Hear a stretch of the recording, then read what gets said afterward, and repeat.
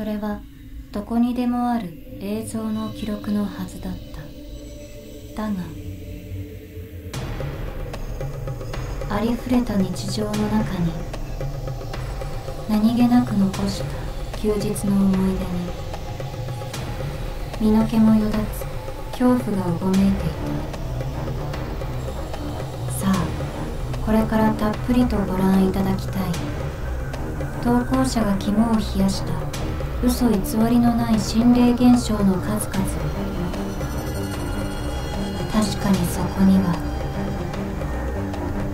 いるいる。願わくば決して一人では見ないでいただきたい。